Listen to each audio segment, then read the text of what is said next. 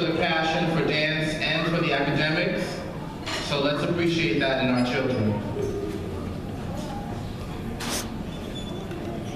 This piece that they're about to do is in relation to Black History Month and Women's History Month, which was last month, and Black History Month in February.